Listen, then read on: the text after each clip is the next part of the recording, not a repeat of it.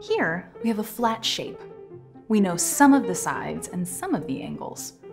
One of the goals in geometry is to learn how to find the unknown sides and angles. Before you tackle complex shapes like this one, it's best to start with simple shapes, and one of the simplest shapes is the triangle. We know that the sum of the angles of any triangle is 180 degrees. This means that if you know two of the angles, you can find the third by subtraction.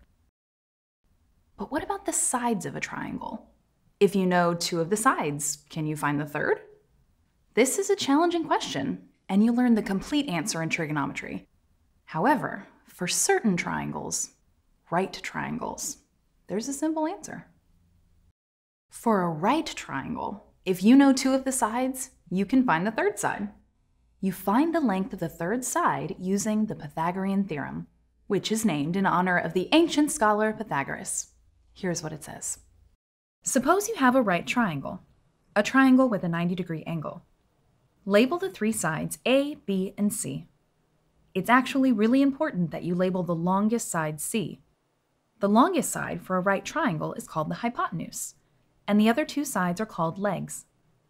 Now that we've correctly labeled the three sides, we're ready for the Pythagorean theorem. It says that a squared plus b squared equals c squared, and the converse is also true.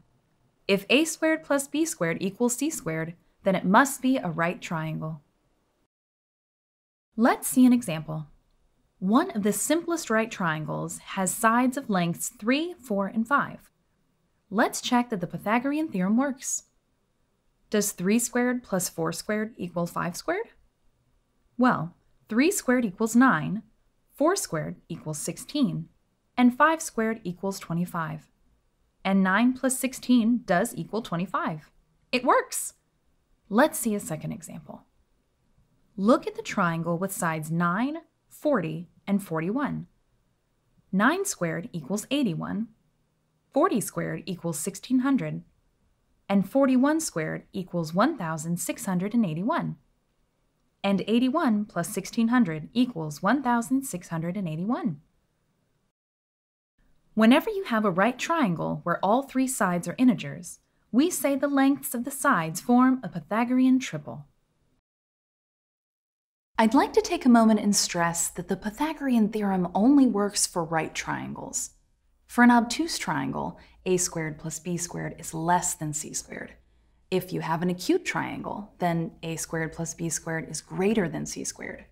We only get a squared plus b squared equals c squared when it's a right triangle. Let's see one more example. Suppose we have a right triangle with a hypotenuse of length 10 and one of the legs has length 7. How long is the other side? Let's call the unknown side A. Using the Pythagorean theorem, we get a squared plus 7 squared equals 10 squared. Squaring the numbers, we get a squared plus 49 equals 100. Subtracting 49 from both sides gives us a squared equals 51. Next, take the square root of both sides. This gives us a equals plus or minus the square root of 51. Since a is a length, it must be positive, so a equals the square root of 51. This is approximately equal to 7.14.